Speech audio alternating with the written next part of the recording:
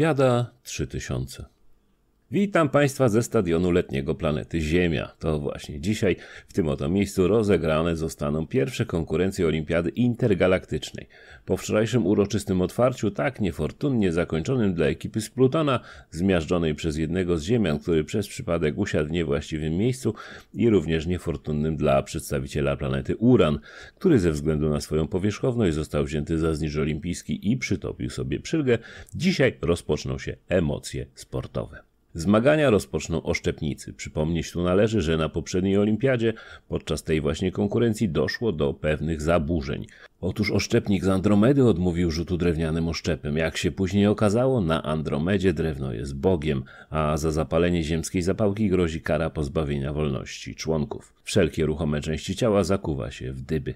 Natomiast pozostała część puszczana jest wolno. Natomiast nikomu nie udało się powstrzymać zawodnika z Oriona przed pożarciem oszczepu. Okazało się, że boskie na Andromedzie drewno jest równocześnie przysmakiem na Orionie. Odpowiedzialni za to zostali pociągnięci do odpowiedzialności.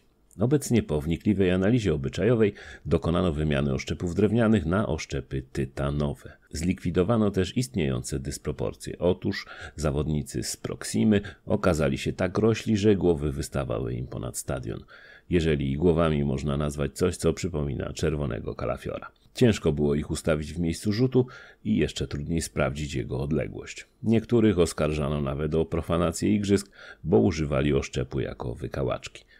Nie sprawdzili się również w skoku wzwyż. Przeważnie deptali poprzeczkę. Uważani za faworytów w biegach zupełnie zawiedli. Ich rekordzista galaktyki po zainstalowaniu w blokach startowych miał głowę w bramie stadionu. Pomimo próby brawurowego startu, zaklinowawszy się w bramie, pozostał w pozycji klęczącej aż do zakończenia igrzysk i rozebrania trybun w sektorze G.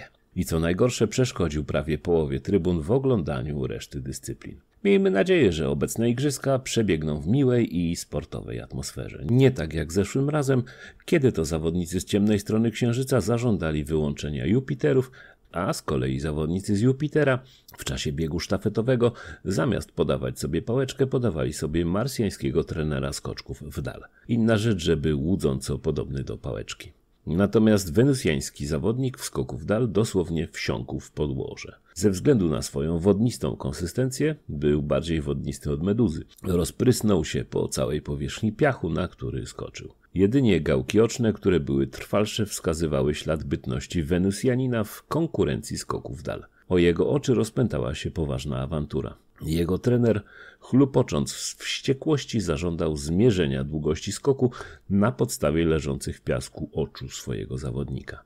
Na to nie zgodził się trener Marsjan, który właśnie powrócił z biegu sztafetowego. Powstało zamieszanie, w czasie którego nie dość, że ktoś kopnął oczy zawodnika, to jeszcze jego trener, uniesiony urazą przez przypadek, też wlazł w piasek i stracił 4 z 6 odnóży. Marsjanin zaprotestował ponownie, tym razem twierdząc, że trener Wenusjan nalał mu w buty. Tenże tłumaczył się stratą nóg. Zeskok zaczął przypominać małe bagienko. Zawodnik z Andromedy powiedział, że nie zamierza się taplać w tej brei. Trener Wenusjan uniósł się honorem po raz wtóry i stwierdził, że nikt nie śmie nazywać pozostałości jego zawodnika breją. Przy okazji stracił kolejne dwa odnóża. To spowodowało brak odnóży u trenera. Rozległ się donośny plusk i trener dołączył do swego zawodnika. Jego oczy również pozostały na piasku. Nie wiedząc, co dalej począć z konkurencją, postanowiono zagrać oczami w golfa. Z powodzeniem. Ziemianie uzyskali w tej konkurencji brązowy medal. Zużyto jeszcze pięciu zawodników z Wenus. Konkurencje sprinterskie zakończyły się zwycięstwem zawodników z Jowisza.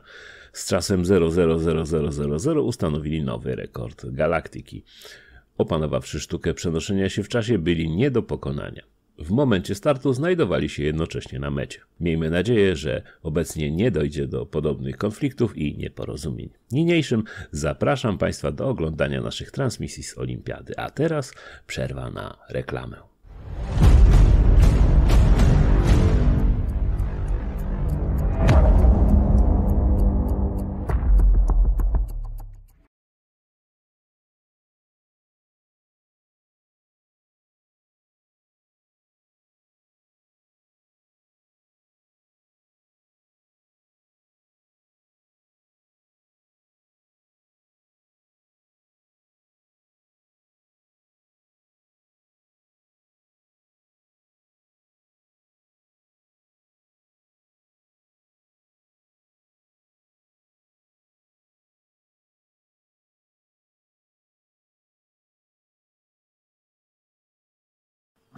Thank you.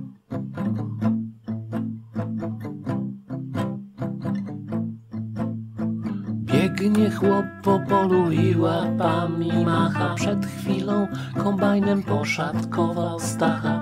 Stacha rozrzuciło nawet po obejściu. Dupa na stodole, a łeb w samym wejściu. Biegnie chłop po polu i łapami macha. Przed chwilą kombajnem poszatkował Stacha. Stacha rozrzuciło nawet po obejściu. Dupa na stodole, a łeb w samym wejściu